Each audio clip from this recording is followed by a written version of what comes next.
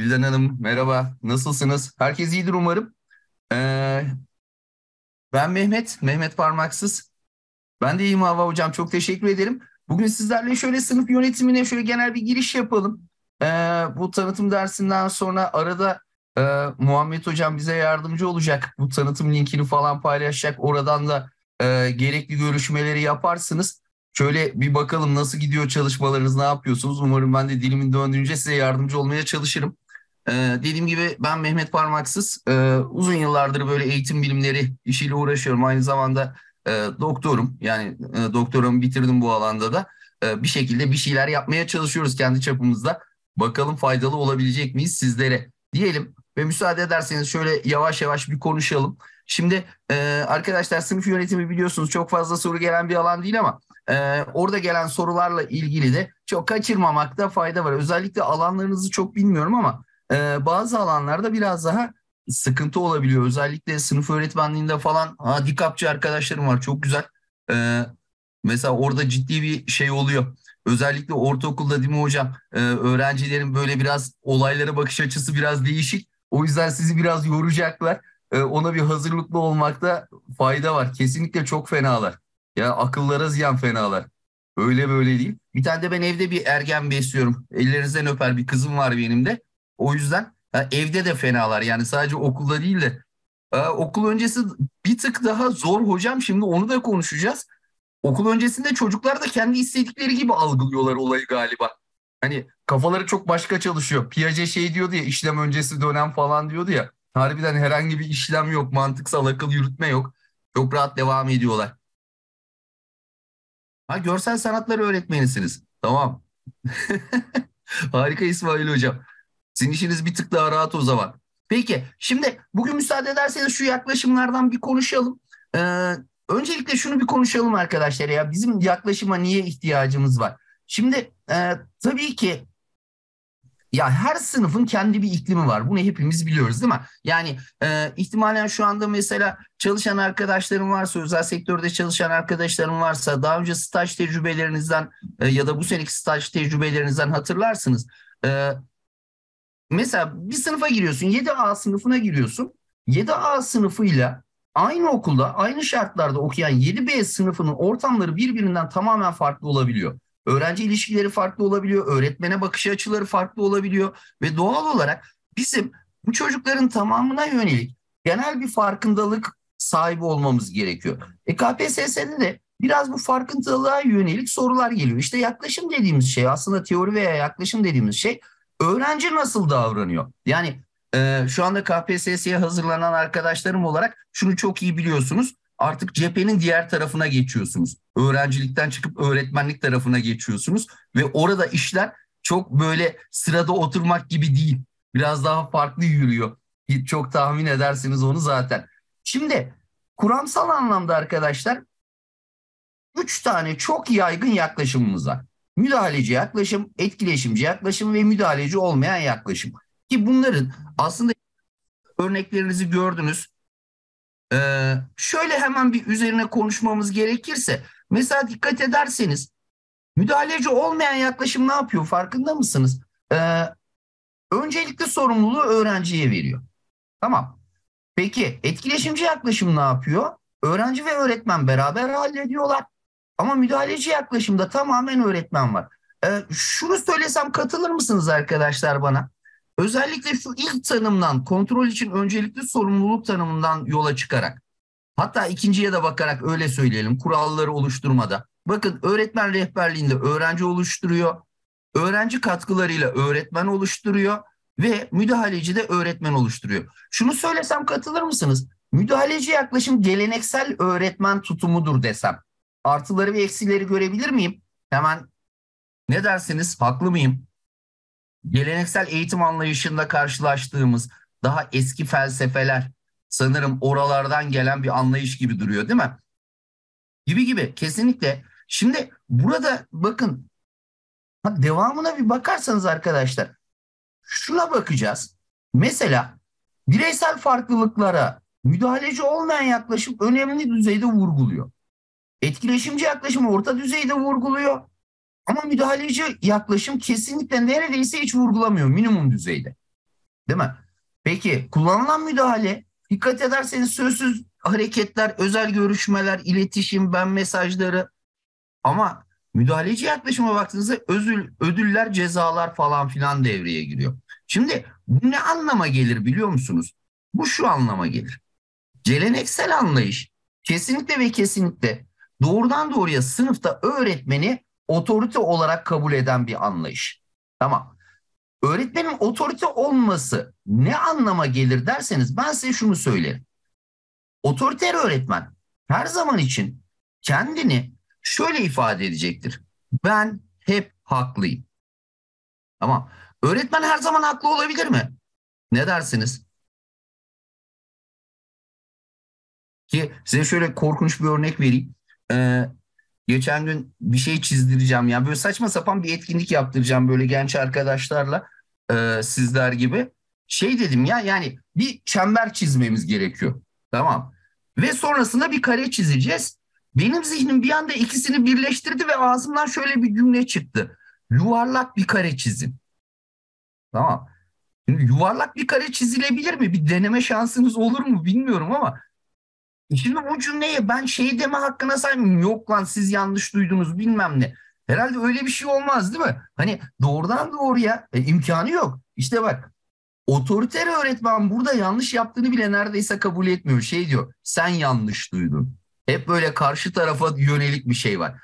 Bakın çizebildiniz mi Hava Hocam? A, çizerseniz bana inanılmaz yardımcı olmuş olursunuz. Ya olmuyor değil mi? Çocuklarda bir afalle, afalı şey vardı ya hatırlıyor musunuz? Cem Yılmaz'ın mukavvadan süt yapacağız gibi bir şey oldu benimki de. Öyle bir hikayesi vardı bilmem hatırlar mısınız? Aynen ona döndü yani.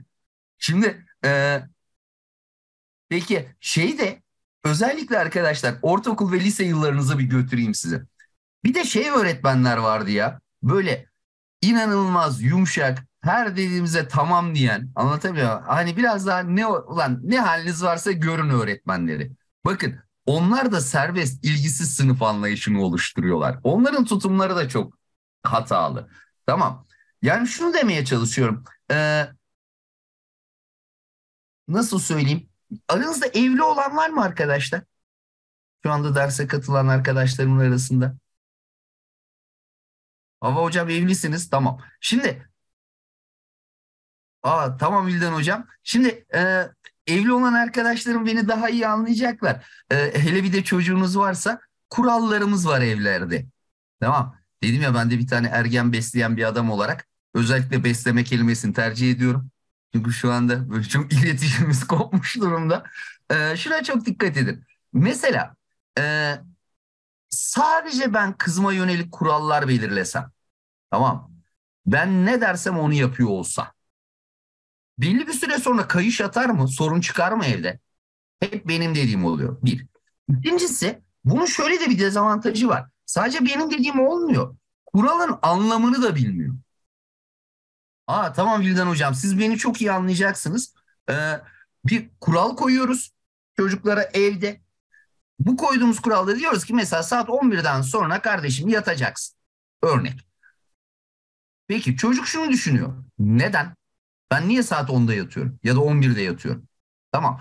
Otoriter sınıf bunu açıklamıyor. Peki serbestte ne oluyor? Kaçta yatarsan yat. Bu sağlıklı mı ne dersiniz? Kuralları çocuk belirlese. Daha doğrusu kuralsız bir ortam olsa. Aynen aynen İsmail Hocam tam olarak onu söylemeye çalışıyorum. Hani e, sağlıklı olmuyor. Peki kuralı beraber belirlesek ve bunun nedenlerini de açıklasak. Tamam. Yani Saat 10'da yatacağız çünkü. Aynen beraber kural oluşturduğumuzda işler biraz daha rahat yürür mü? Ne dersiniz? Mesela e, bunu şeyde belki öyle bir uygulamaya denk gelmiş olabilirsiniz. Örneğin İngilizce derslerinde bazı hocalarımız şey yaparlar. Bir kutu ayarlarlar. Derler ki derste Türkçe kelime kullanırsanız ama mesela öyle bir şey söyleyebiliriz İsmail Hocam. Gelişimin için daha iyi olacak. İşte yarın sabah erken kalkmamız gerekiyor çünkü işte okula gideceğiz. Okulda enerjimiz olması gerekiyor. Arkadaşlarla oynarken enerjiye ihtiyacımız var falan bir şey. Tamam. Şeyi hatırlıyor musunuz? İngilizce öğretmenleri mesela Türkçe kelime kullananlara ceza verirlerdi. Atıyorum o kumbaraya 1 lira atardınız her bir kelime için. Ve çok dikkat edin. Doğru işleyen bir sistemde öğretmen de Türkçe kelime kullandığında o da para atıyordu. Hiç yaşadınız mı böyle bir örnek bilmiyorum. Mesela benim İngilizce öğretmenim öyleydi. E şimdi dikkat edin. Bu sefer o kural sizi rahatsız etmiyor. Anlatabiliyor muyum? Çünkü otorite olarak gördüğün kişi de kurala uyduğu için kural otoriteler üstü bir hale gelmiş oluyor. Ee, yani şey diyoruz ya kardeşim yasalar herkes içindir. Evet herkes içindir. Yani yasa edemez. Doğal olarak oradaki e, yapı çok daha önemli hale geliyor. Diyelim ve müsaade ederseniz şöyle yavaş yavaş bir sonraki slayta doğru geçeyim. Şimdi e, dikkat ederseniz arkadaşlar otoriter tutumda çok önemli bir ilke var. O da şu.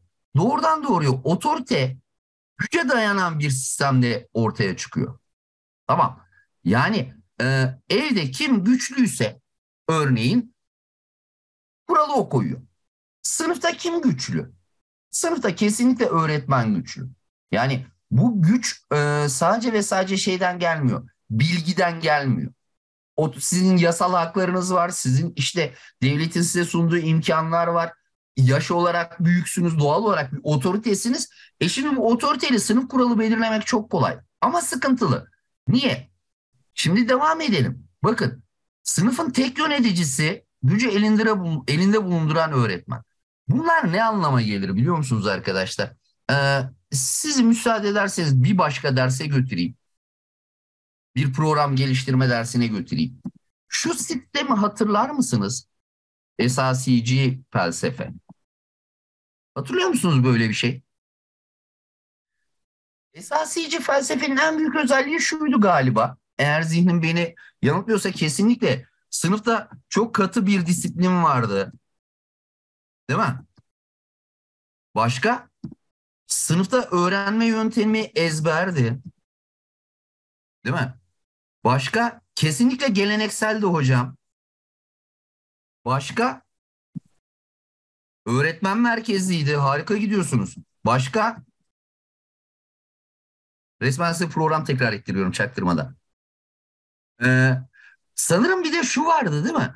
Öğretmen kural koyucu olarak o zaman o sınıflarda neyin ne zaman yapılacağına, neyin ne şekilde yapılacağına kendi karar veriyordu. Hatırlar mısınız KPSS'de çıkmış bir soru vardı. Öğrenci öğretmeni diyor ki, öğretmenim diyor tahtaya çizdiğiniz şekli ben defterime geçirirken defterimi yan tutabilir miyim? Öğretmen de diyor ki, hayır benim çizdiğim gibi çizeceksin. Tamam. Şimdi burada inanılmaz bir otorite var fark ettiniz mi? Peki şimdi bu otoritede öğrenciler nasıl davranıyorlar? Tabii şunları biliyorsunuz bakın doğal olarak öğretmen karar verme gücünü kendi elinde bulundurduğu için e, öğrenciden ne bekler? Koşulsuz bir itaat bekler. Değil mi? Öğrenci koşulsuz itaat etmek zorundadır bu sistem içinde. Peki öğretmen kendisinin eleştirilmesine izin verir mi? E, tabii ki vermeyecek. Peki öğrenciler istedikleri gibi davranabilirler mi? E biraz önce de söyledik bakın defteri nasıl yazacağımızı bile öğretmen belirliyorsa bizim çok böyle hani e, istediğimiz gibi davranma şansımız yok bu sistem içinde. Peki ne olur başka? Bakın e, öğretmenin tek bir derdi vardır arkadaşlar bu sistem içinde. Öğretmenin tüm derdi kesinlikle ve kesinlikle daha önceden belirlenen hedeflere ulaşmaktır. Eğer öğretmen belirlediği hedefe ulaşmak için bir çaba sarf etmesi gerekiyorsa onu hiçbir şekilde yapamazsınız. Ve ana fikir kesinlikle öğretilecek bilgidir. Bu ne anlama gelir? Şunlara katılır mısınız? Şunları söylesem. Ee, temelde bilgi vardır dediğim andan itibaren. Öğrencilerin ilgileri burada etkili midir sizce otoriter sınıf yönetiminde? Artıları eksileri görebilir miyim? Öğrenci ilgisi önemli midir? Kesinlikle hayır. Öğrencilerin beklentileri önemli midir? Kesinlikle hayır. Peki öğrencilerin yetenekleri önemli midir? Soru bu. Sanırım hayır. Öğrencinin kesinlikle ilgileri, istekleri, beklentileri, duyguları Her şey göz ardı ediliyor arkadaşlar otoriter sınıf yönetiminde. Sadece şunu istiyoruz. Kardeşim herkes ben geldiğimde ayağa kalkacak. Herkes e, ben işte şunu yap dediğimde onu yapacak.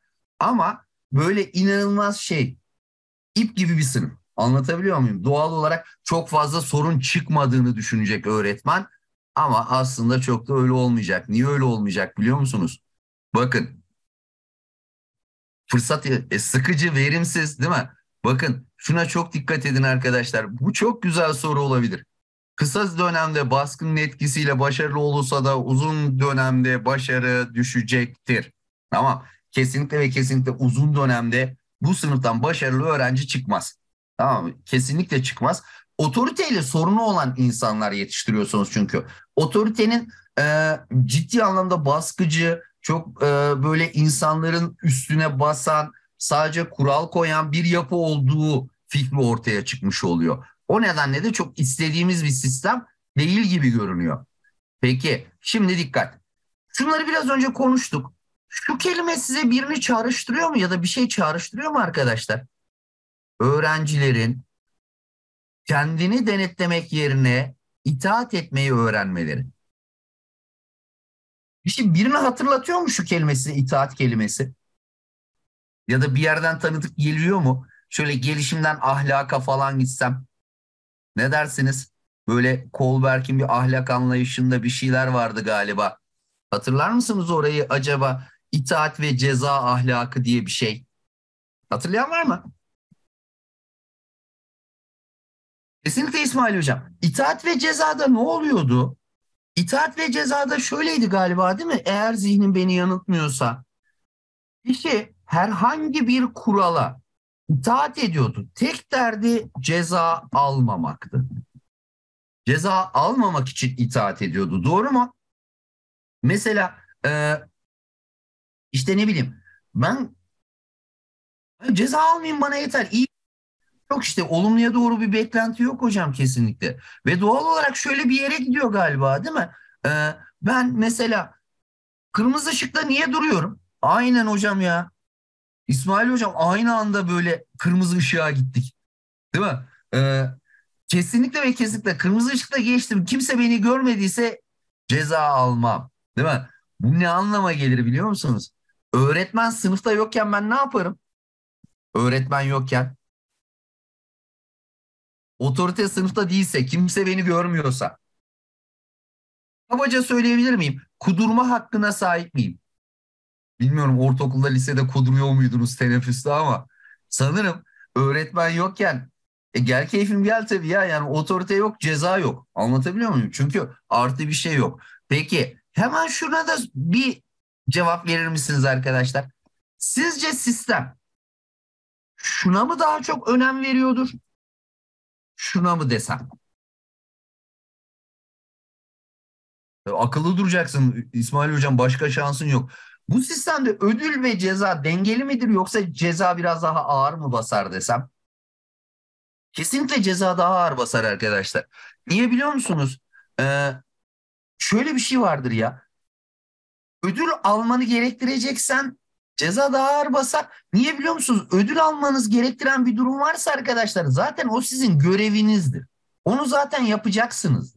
Anlatabiliyor muyum? Ve doğal olarak hani burada bir ödüllendirme sistemi çok fazla gündeme gelmez.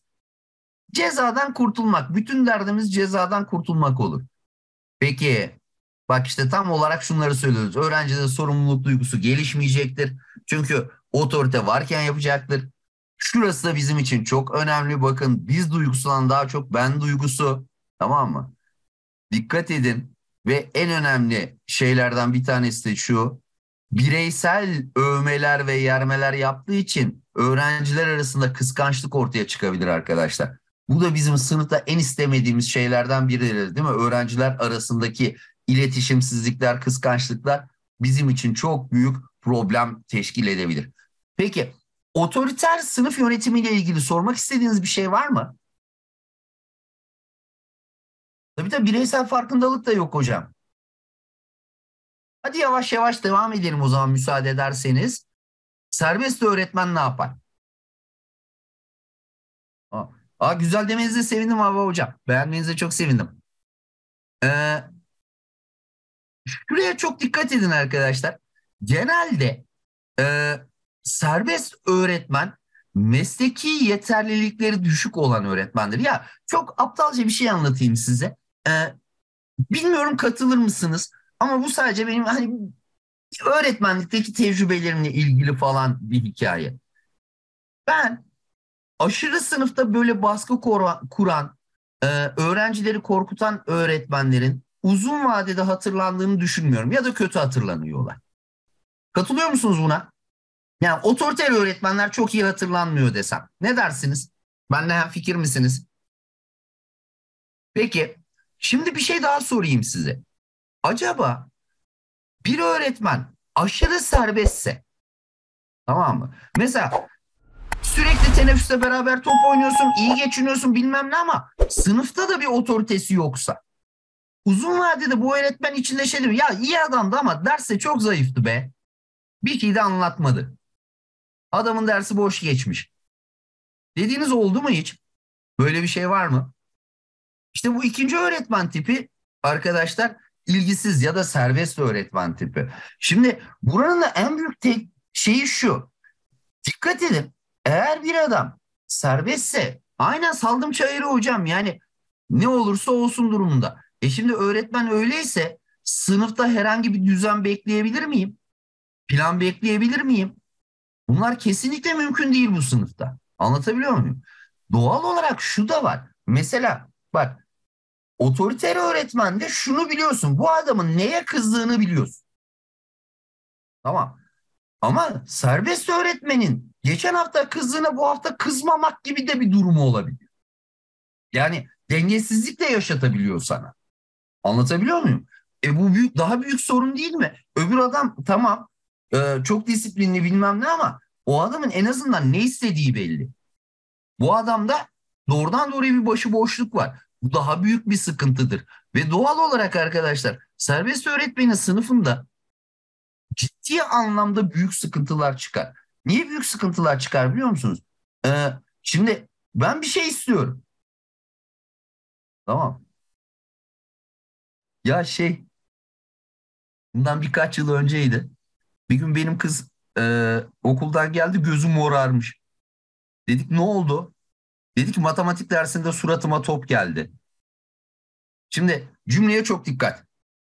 Matematik dersi top, surata gelen top, morarmış göz. Şimdi bunun nasıl olduğu hakkında bir fikriniz var mı? ne dersiniz nasıl olmuş olabilir? Öğretmen ne yapmış olabilir sınıfta? Şimdi kesinlikle bak kazımıyor. Ve buradaki en büyük sıkıntı ne biliyor musunuz? İki şey arkadaşlar. Bir, öğrenciler istediklerini yapacaklar. Doğal olarak bu çatışmaya neden olabilir. Aynen yanlış olmuş değil mi ya? Kesinlikle yanlış sınıftalar. Matematik dersinde ama şey hiç beden eğitimi dersinde kulağıma formül kaçtı diyen falan olmuyor. İkinci büyük sıkıntı. Çok ciddi büyük sıkıntı arkadaşlar. Ee, ya insanoğlu biraz şey galiba değil mi? Şöyle desem katılır mısınız? Bunu olumsuz anlamda söylemiyorum. Doyumsuzu. Ama şu anlamda söylüyorum. Örneğin ben sınıfta A eylemini yapmak istedim. Top oynamak istedim. Tamam. Bunun sonun şuraya varacağını fark ediyorsunuz değil mi? Hocam ya nasıl olsa sınıfta top oynuyoruz. Biz çıkıp bahçede oynayalım. Yani sizin vereceğiniz herhangi bir ödün bir büyük ödünü doğuracaktır desem. Öğrenci istekleri artarak üstünüze gelecektir. Hani doyumsuz kelimesinden kastettiğim şey bu. Öğrencinin istekleri artarak üzerinize gelecektir. Mesela şey diyecektir. Bahçeyi çıkartırsanız bir sonraki hafta diyecek ki hocam nasıl geçen hafta da bahçeliydik bu hafta kantine gidelim. Yani geçen hafta top oynadık bitti bu hafta kantine gidelim diyecek hep bir artarak gidecektir öğrencinin isteği. Ve bunun önünü alma şansınız çok fazla yok arkadaşlar. Ciddi anlamda bir sıkıntı yaşarsınız eğer böyle yönetirseniz sınıfı.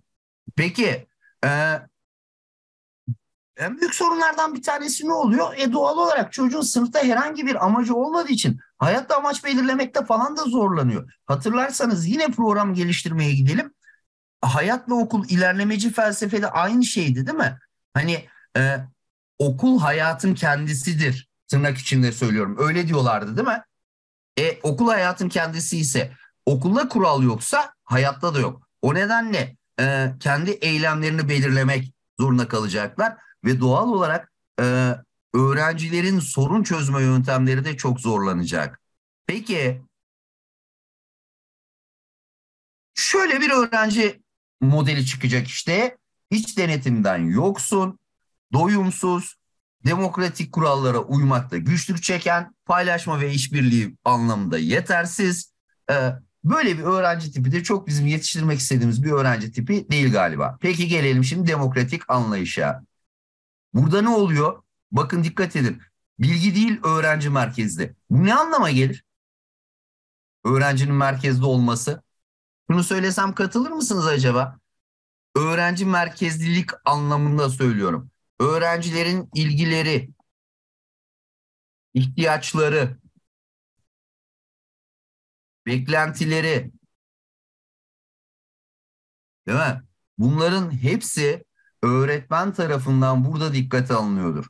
Peki e, karar verme kısmında aynen aynen elde tutulacak onlar olmazsa olmaz. Kesinlikle bunlara dikkat edeceğiz ve kural oluştururken dikkat edin arkadaşlar kesinlikle kuralı oluşturan öğretmen değil bu sefer. Nasıl kural oluşturuluyor? Ne dersiniz? Öğrenciler mi belirliyor? Biraz önce söylediğimiz gibi ilgisi öğretmen olduğu gibi, ilgisi öğretmende olduğu gibi yoksa birlikte mi desek sanırım birlikte belirleniyor değil mi? Beraber belirleniyor burada kurallar ki son derece önemlidir. Şimdi burada dikkat edin arkadaşlar kurallar belirlenirken en başta söyledik ya yani dersin en başında kurallar belirlenirken bu beraberlik nedenleri de açıklayarak gidiyor. Burası bizim için çok önemli. Kuralın olması yeterli değil. Kuralın nedeninin de bilinmesi gerekiyor. Anlaştık mı? Peki bu ortamda dikkat edin. Şimdi kuralı beraber koyduk. Kim denetleyecek kuralı? Öğretmen mi yoksa bütün sınıf mı denetleyecek? Ne dersiniz? Mesela çöplerimizi çöp kutusuna atalım dedik. Tamam böyle bir kuralımız var. Tamam ki çok bildik kurallardan bir tanesi. Bir arkadaşım çöpünü yere attığında kuralı beraber koyduğumuz için onu uyarma hakkım var mı? Bak yere attın onu çöpe at. Aynen aynen. Çok keskin çizgiler var. Yani e, uyarabilir ve doğal olarak öğrencilerin bakın kuralın devamı için bir işbirliğine gittiğini görüyorsunuz. Anlatabiliyor muyum? Öğrenciler beraber hareket etmeye başlıyorlar. Tamam. Mesela şu çok güzel bir iş bölümü olmaz mı? Diyelim ki bir arkadaşım çöpe gidiyor. Ben de kalkamadım. O anda bir şey oldu. Ee, şey dedim. Ya benim kalemimi de açar mısın? Çöpe atmak adına. Aynen. Bu sefer ben yerine biz fikri gelişmeye başlıyor arkadaşlar. Anlatabiliyor muyum? Ve çok ciddi işbirlikli bir ortama doğru gidiyorsunuz. Bu anlamda son derece önemli bir iş yapmış oluyorsunuz aslında. Şimdi e, zaten sınıfta herkes kurala uyuyorsa öğrencilere aşağılamalar, hakaretler gelecek mi? Gelmeyecek. Ve dikkat edin öğrencinin kesinlikle ve kesinlikle özgüveni gelişecektir arkadaşlar böyle bir sınıfta. Şimdi biraz önceki örneğimize dönelim. Yere çöp atsan bir arkadaşını uyarmak. Tamam bir özgüven gerektirir desem katılır mısınız? Mesela siz yolda yere çöp atan birini uyarabiliyor musunuz? Çok uyaramıyoruz galiba değil mi? Ya şimdi bir sıkıntı çıkar falan filan diye. Çünkü zamanında kazanmamız gereken bir özgüvende belki eksikliğimiz olabilir. Yani bilmiyorum nasıl yetiştik ama hani geneli konuşuyorum sadece özel sizi kastederek konuşmuyorum. Ve dikkat edin bu ortamda arkadaşlar Özellikle ve özellikle öğretmen öğrenciye karşı sevgisini falan gösteriyor. Hani adam yerine koyuyor öğrenciyi tam deyimiyle. Anlatabiliyor muyum? Öğrencinin adam yerine konduğu bir sistem bu. Diğerleri biraz daha şey hani e, özellikle otoriterde yetiştirilmesi gereken, şekil verilmesi gereken bir hamur gibi. Peki bak ne var burada? Dikkat et. Ceza tehdit falan değil, ödül, övgü ve teşvik var. Tamam. o zaman şunu söyleyebilir miyim? Biraz önce söylediğimiz otoriter sınıf yönetimi için söylediğimiz hani şey dedik ya e, kesinlikle ve kesinlikle otoriterde ceza ön yapıdadır. Peki e, aynen demokratikte ne oluyor?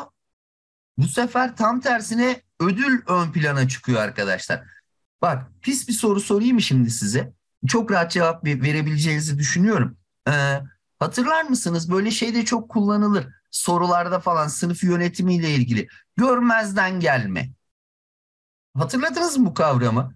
Mesela öyle bir olay olur ki görmezden gelmeniz istenir ki dersler sırasında bunları eğer birlikte olursak konuşacağız arkadaşlar. Ee, bir öğretmen ne zaman görmezden gelir? Hemen aklıma gelen bir iki tanesini söyleyeyim size. Mesela denir ki kardeşim çocuğun yaptığı davranış gelişim dönemi özelliği ise o dönemin özelliği ise bunu görmezden gelebilirsin. Değil mi? İnşallah bu hocam. Aa Vildan hocam bak bu çok önemli ve güzel bir örnek. Değil mi? Mesela sınavda sorulan soruydu. Bir ergen kardeşimiz öğretmenine aşık olursa. Şimdi dikkat.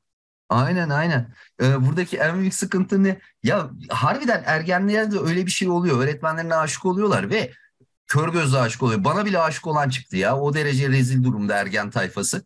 Ee, ve şöyle bir şey oluyor. ya tövbe ne? Vallahi öyle oluyor yani. Bir şekilde size geliyorlar yani anlatabiliyor muyum? Şimdi ama oradaki duygunun bakın gerçek bir duygu olmadığını ben öğretmen olarak biliyorum değil mi?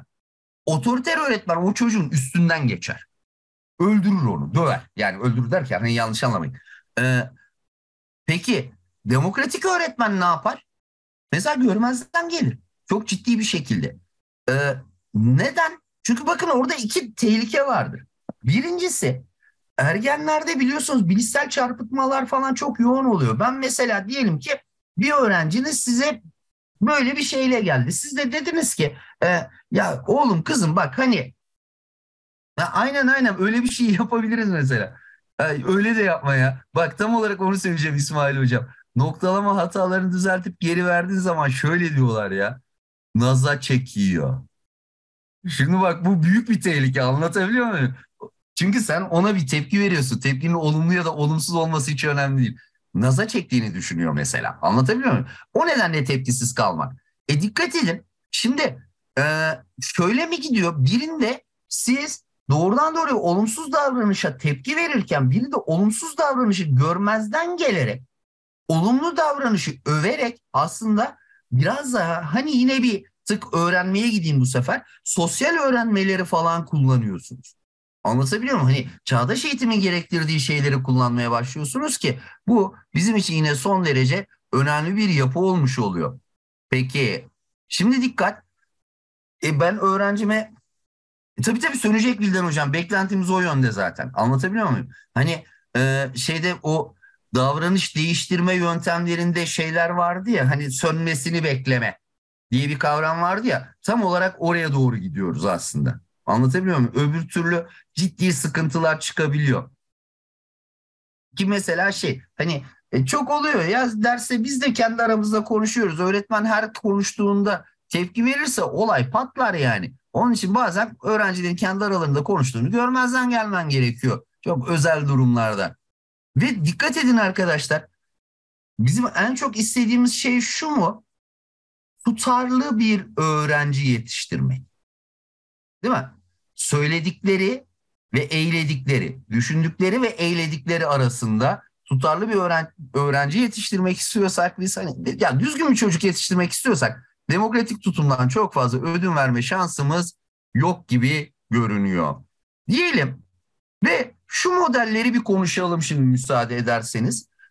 İşte bu yaklaşımlara dayanan arkadaşlar modellerimiz şunlar. Bir, tepkisel model.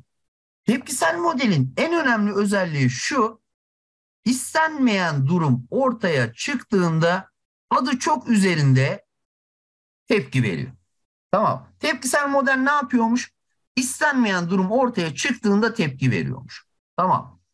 E şimdi bu adam biraz daha gelenekselci fark ettiniz mi? Biraz daha eski kafa görünüyor. Yani hani e, şey yapıyor. Ödül ceza sistemiyle biraz daha gidiyor gibi. Peki şu adam mesela dikkat edin derste söz istemeden konuşan öğrenciye ders boyunca söz vermemek aslında biraz daha onu cezalandırmak değil mi? E, ciddi anlamda böyle görmezden geliyoruz bu sefer. Bakın hani tırnak içinde görmezden adam yerine koymamak anlamında görmezden geliyorsun. E bu olacak iş değil. Hani istediğimiz bir şey değil bu. Peki önlemsel model ne yapar? Önlemsel modelde arkadaşlar dikkat edin. Olumsuz davranış ortaya çıkmayan, çıkmadan önce tedbir alır. Tamam. Öngörüde bulunur. Tamam. Ee, bu öngörüde bulunmak iyi bir şey midir? Ne dersiniz? Ciddi soruyorum bunu. Yani e, ortaya çıkabilecek sorunları öngörerek tedbir almak iyi midir? Bana sorarsanız gayet iyidir. Ama bir iki aksi yönü vardır. Ha, tam olarak oraya geleceğim İsmail Hocam. Şimdi mesela şey e, anne baba olanlar biliyorlar. İleride sizler de inşallah anne baba e, olduğunuzda göreceksiniz. Mesela çocuklar ilk yürümeye başladıklarında örneğin böyle sert köşeler falan falan bir şeyler varsa ya da prizler açıktaysa onlara tedbirler alınır. Görmüşsünüzdür onu. Köşelere ya sünger konulur ya işte o nesneler ortadan kaldırılır. Prizlere bir şeyler takılır. Çocuk bir şey sokuşturmasın falan diye. Bu öngörüler iyidir. Anlatabiliyor muyum? Ama sınıf ortamına geldiğinizde şöyle bir durumla karşılaşma ihtimaliniz var. Tamam. Mesela ben yazılı yoklamadan önce notları tahtanın önünde konmasını istedim. Hani şey diyorlardı ya sıraların altını boşaltın. Sıraların altını boşalttırdım. Tamam. Böylece kopya çekinmesinin önüne geçmiş oluyor muyum? Ne dersiniz? Derdim bu yani değil mi? Hani amacım bu. Öğrencilerimin kopya çekmesini engellemek. Aynen bir şeyler yaptırabilirim değil mi? Bir kelebek oturma düzenine geçebilirim. Peki e, şunu da biliyoruz değil mi? Tepkisel model böyle bir şey yapmazdı. Kopya çekeni yakaladığında cezalandırırdı. Burada bir sıkıntı var mı? O iş tedbir falan almaz. Doğrudan yakalar tepesine binerdi. Şimdi tepkisel yaklaşıma göre daha iyi bir model. Ama şöyle bir durum ortaya çıkıyor arkadaşlar. Çocuklar aşırı önlem alınmış ortamlarda yetiştiklerinde karşılaştıkları sorunlar hakkında bilgi sahibi olmuyorlar. Çünkü kendileri sorun çözmeyi bilmiyor. Çünkü onlara sorunsuz bir dünya vaat ediyoruz. Dünya öyle mi? Yani önlemsel modeli eleştirebileceğiniz en önemli nokta budur. Hani şey diyoruz ya biz helikopter ebeveyn deniliyordu hatırlıyor musunuz? Aşırı koruyucu. Çocuğun bütün dertlerini kendileri çözüyordu. E çocuk sorun çözmeyi bilmiyordu. Şimdi ben bütün önlemleri alırsam hani biraz önce İsmail hocamla herhalde bu konuda hemfikiriz. E, bütün önlemleri alırsam ileride çocuk bir şekilde sorunla karşılaştığında ne yapacak? Bak sorun çözmeyi e, evet çünkü hata yapma ortamı vermedik. Doğal olarak hatanın ne olduğunu bile bilmeden hata düzeltme şansı olmaz. Bu anlamda bir eksikliği vardır. Yani şöyle bir sorudan bahsediyoruz. Önlemsel model çocuklar için gerekli tedbirler almak evet ama aşırı alınmış önlemlerde çocuğun sorun çözme yeteneğini e, baltaladığını diyelim unutmamakta fayda var arkadaşlar. Peki başka ne diyebiliriz? Gelişimsel model dediğimiz şey ise dikkat edin bunu zaten çok tahmin edersiniz. Çocuklarımızın gelişim dönemleri vardı değil mi? Bu gelişim dönemleri sanırım şöyle mi gidiyordu? Mesela Piaget'e göre düşünürsem ben işte işlem öncesi ya yani duysal motor dönem, işlem öncesi dönem, somut işlem, soyut işlem. Değil mi? fiziksel gelişimi, duygusal gelişimi, sosyal gelişimi, e, psikomotor gelişimi bunların hepsi çocuğun gelişiminde önemlidir. Doğru mu? Ve ben e, sınıf yönetiminde arkadaşlar şuna dikkat edersem biraz önceki örneğimizi buraya getirelim şimdi. E, çocuklarımın gelişim dönemi öncesine göre aynen aynen e, etkinlikler tasarlarsam sınıf yönetimi düzenlersem mesela İsmail Hocam şey okul öncesinde çocuklar makas kullanmayı işte orada öğreniyorlar. Kalem tutmayı orada öğreniyorlar. Anlatabiliyor muyum? Hatta e, okul öncesi öğretmen arkadaşlarım belki bana daha yardımcı olurlar. E, karalama döneminden falan başlayan bir resim gelişim dönemleri var. Ve doğal olarak orada çocuklar aslında bunları bir taraftan öğreniyor. Peki sınıf yönetiminde bunun etkisi nasıl? E şimdi mesela orada okul öncesinde ilkokulun ilk yıllarında 1'de 2'de sembolik pekiştireçler inanılmaz işe yarıyor. Hani deftere yıldız yapıştırmak. Anlatabiliyor muyum? İlkokulda okuma okumayı öğrendiğinizde böyle şey takmışlar mıydı kurdela? Kırmızı kurdela takılan oldu mu? Aynen elma kızartıyoruz falan bir şeyler yapıyoruz. Şimdi dikkat edin. Ee, ya mesela KPSS'yi inşallah kazandınız, atandınız. Atandınız diye aileniz size kurdela taksa ya da elmanızı boyasa ne hissederdiniz? Bundan daha büyük böyle utanılacak bir şey olmazdı herhalde değil mi? Hani babanız böyle kurdele takıyor falan. Ucunda altın da yok. Hani altın olsa belki biraz daha anlamlı olur ama şimdi gerçekten ödüller, cezalar yaşa göre değişiyor. Bu biraz buna bakıyor. Kesinlikle gururlu bir şey ya. O başka bir şey ama kurdele de olmasın be birader hani. Değil mi? Şöyle daha güzel bir şeyler taksınlar diye düşünüyorum. Peki. Şimdi burada şeye çok dikkat edin arkadaşlar. 10 yaşına kadar olan okul önceci öğretmenlerim, sınıf öğretmenlerim başınız biraz sıkışacak burada. Öğrencinin ilk öğrenmesi gereken şey nerede nasıl davranacağı. Anlatabiliyor muyum? Yani kuralları belirlerken aslında şöyle söyleyeyim. E, ilkokul birinci sınıfta falan kuralları yine biraz şey hani beraber belirliyoruz, öğrenciye açıklıyoruz ama şimdi biraz zor bir dönem kurallara uymak anlamında. 10-12 yaşlarında ciddi anlamda biraz destek olmaya başlıyorlar bize arkadaşlar. Ama asıl önemli olan kısım şuralarda geliyor. Tamam mı? Yani e, Sovyet, Sovyet işlem dönemine ulaştıktan sonra çocuklar gerçekten de sınıf yönetimine katılmaya çalışıyorlar. Şeyde hani burayı gerçekten de ahlak gelişimiyle falan bir e, birleştirirseniz zihninizde şunu göreceksiniz. Mesela sınıfta biri birinin istemeden diyelim ki defterini buruşturdu. Hatırlar mısınız şey vardı. E, niyete bakılmaz, sonuca bakılır. Mesela Piaget'in ahlak gelişiminde. Şimdi o dönem ciddi anlamda sıkıntı. Heteronom ahlak döneminde ciddi anlamda sıkıntılar var. Anlatabiliyor muyum? O nedenle öğretmenlerin burada zorlanabilirler.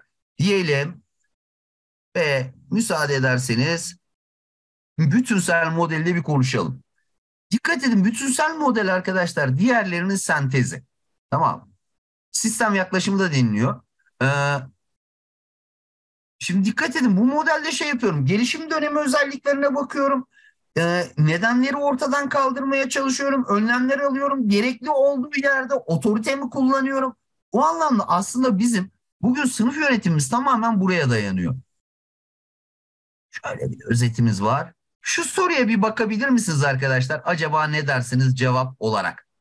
Sınavda çıkmış bir sorudur.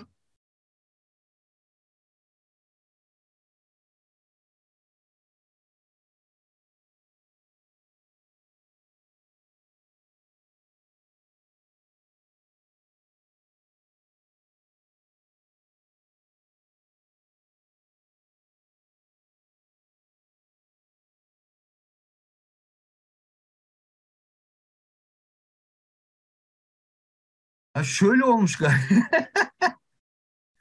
Aa, çok iyi ya. Sene başında dinleyeceğim. De. Peki. Özür dilerim.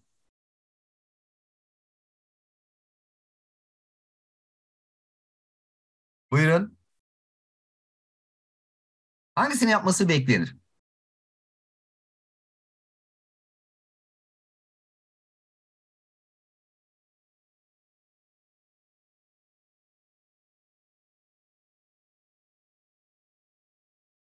Ha, şimdi arkadaşlar iki soru arasında bir fark var. Fark ettiniz mi? Aslında daha çok son dönemde bu tip sorular geliyor. Bu sene hariç bu sene aynısını iki kez sordular. Şeye çok dikkat edin. Ee, bir taraftan doğrudan doğruya şey diyebiliyor. Hani tepkisel model, gelişimsel model, bütünsel model falan filan diyebiliyor. Bir tarafta da onun uygulamalarını bana soru yapabiliyor. Anlatabiliyor muyum? Hani sınıf kurallarını beraber belirlemek, öğrenciyle göz teması kurmak, işte sözlü uyarıcı vermek falan filan. Peki bu sene ne sordular? Bu senenin sorusudur. Buyurun. Birinci öğretmenimiz ne yapıyor?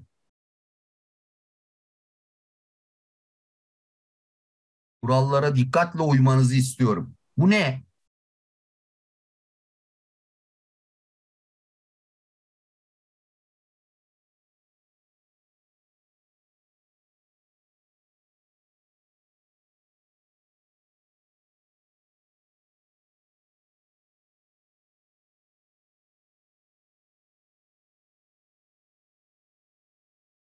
Galiba değil mi arkadaşlar? Şimdi bakın. Birincisinde kurallara mutlak bir uyum istedi. Tepkisel değil mi? İkincisinde ben dersleri şey yaparım. E, önceden size haber veririm. Siz de ona göre hazır gelirsiniz falan bir önlem aldı galiba. Hepiniz farklı özelliklere sahipsiniz. Bu nedenle öğrenme stilleriniz falan. Bak doğrudan öğrencinin gelişim özelliklerine girdi. Değil mi? Doğal olarak gelişimsel model olacak diyelim. Peki hemen şu soruya da bir bakalım.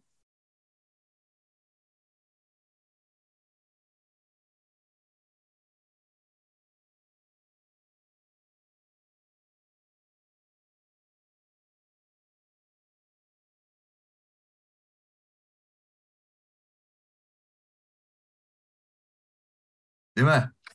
Öğretmen önce önlemlerini almış ardından da bayağı bir şey yapmış galiba. Peki arkadaşlar e, zaman ayırdığınız için çok teşekkür ederim.